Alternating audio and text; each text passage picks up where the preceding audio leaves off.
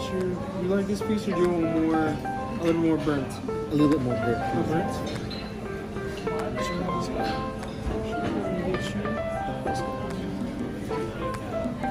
Oops, sorry about that. We're gonna edit that out of the video. Would you like a little bit more? Is that okay? I'll get one for her. Hello guys! So today, I'm going on a date with my husband. Ito yung advanced Valentine's date namin. I'm just getting ready right now. I'm waiting for him. Um, he's on his way home galing sa trabaho.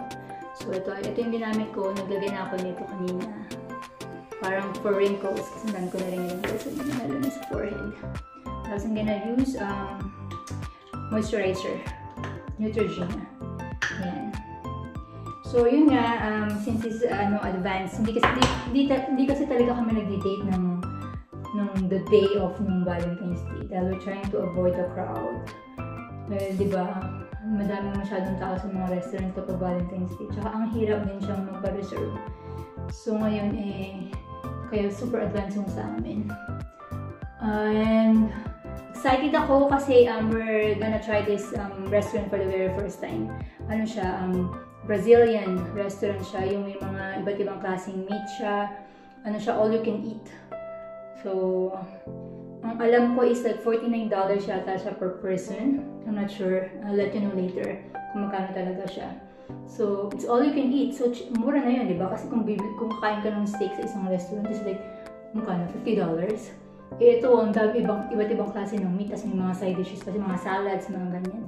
Tapos ang, ang famous siya is yung sa grilled pineapple. So yun, I'm looking forward sa pagkain. Although hindi naman ako talaga mahilig sa meat. But yung asawa ko, so excited siya. Na-try na namin dati ito sa, diba, sa Toronto. Yung birthday ng 50th birthday ng asawa ko, kumain kami sa, sa ano, ano, Copacabana. Doon, sa Von. Yun yung na-try namin siya dati. So it was good. Yung sa Copacabana, meron pa siyang ano, show. Yung mga nagsasayaw na ano, ng babae, ng mga babae. I'm not sure dito. I don't think they have.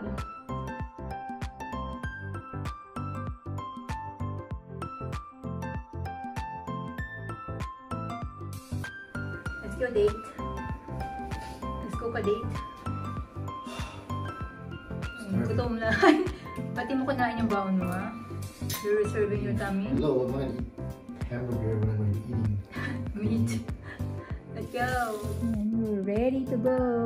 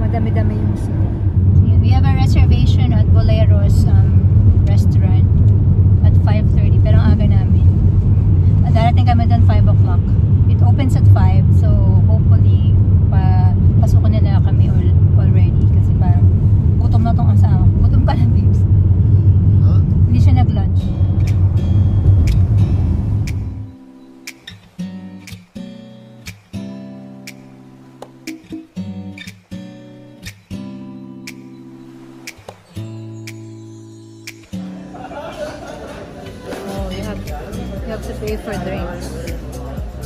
Huh? What's that? Shrimp, salmon. How much is it? This is Oh, all. yan yung full ano. Yan yung mga meat. Desserts are extra too, Oh, ang dessert din may bayad din pala. except for the pineapple. Pero meron sa ano, di ba? Yung salad bar.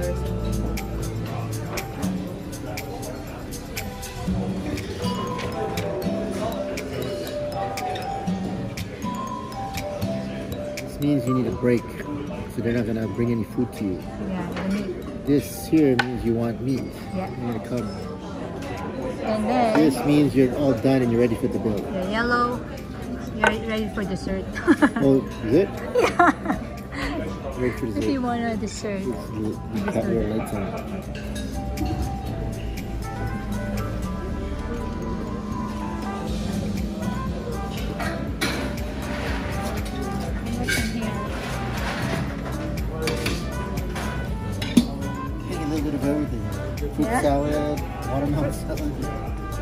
salad? Yeah.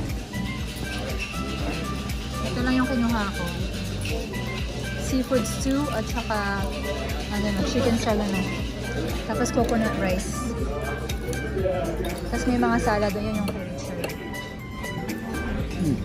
Sarap. Ready? Cheese. Babe, what is this? Cheese balls. Wow. Ang sarap.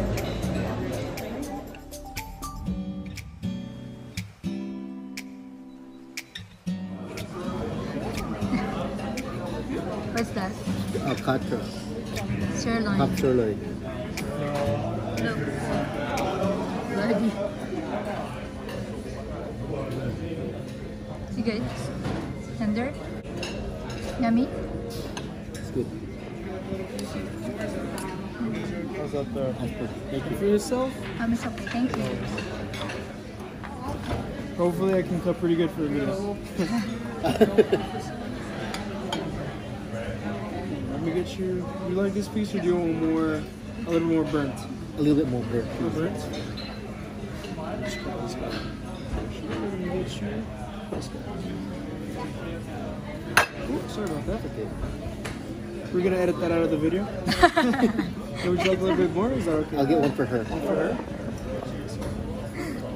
This is your most popular cut, right? Yeah. Oh, This is my favorite one as well. Oh, you. nice. Thank you. For sure. You guys enjoy. This is, what do you call this? How do you say this? Picarna? Picardi, you know. Huh? Ah, Picarna? Is it good? Any bacon wrap sirloin here? Oh, yes, please. I like that one. Favorite so far. yeah, my favorite. Next, can you grab it from me?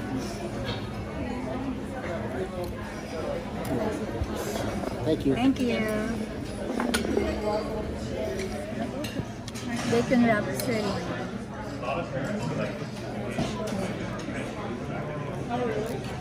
It's my favorite so far.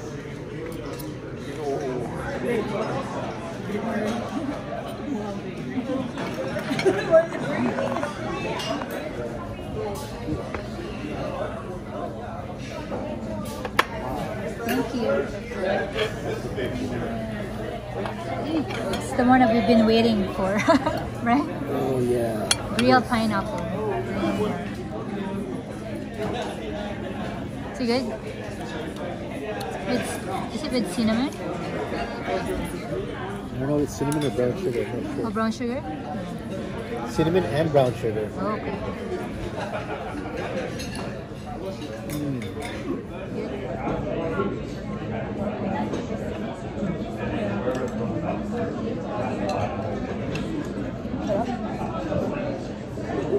It's really good. Ha? Dapat tabi ka sa akin. Huh? Are you done on it? That's why you can breathe it. Ang sarap. Good. Spicy, it's salty. Jalapeno pork loin. Habanero, Ah, habanero. Habanero.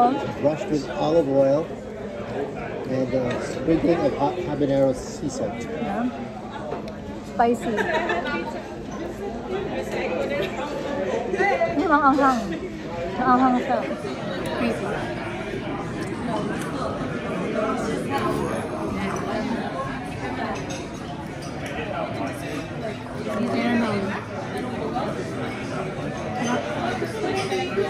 Good?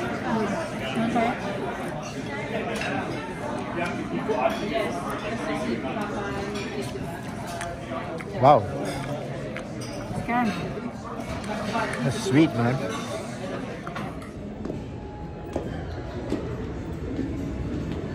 We're done with our dinner. Sobrang busog. Laki ng tiyan ko. ah, sobrang busog, babes. How was it, babes? Good, man. Good? Asan yung daan? Oh, ito pala. Sobrang busog. Ang lamig.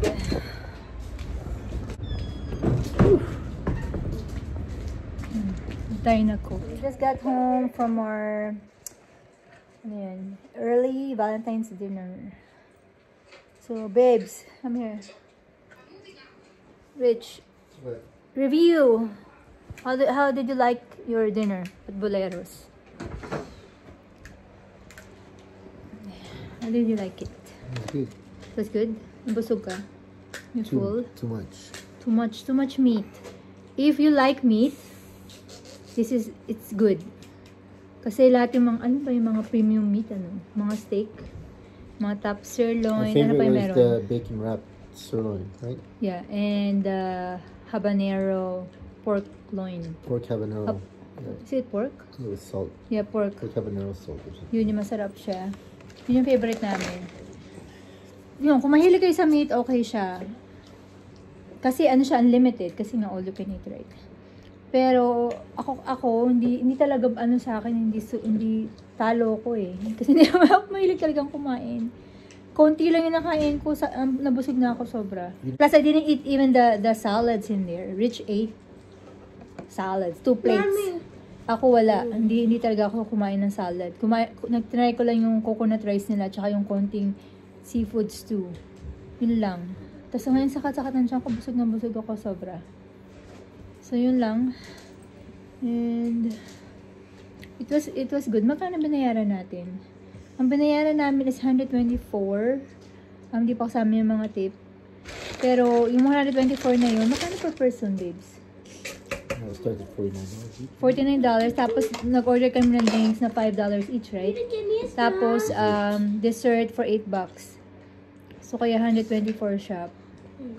Which is not bad. Kung yung hiling mo talaga yung mga meat. Kung kakain ka dun for 2 hours, mabubusog ka talaga. Hmm.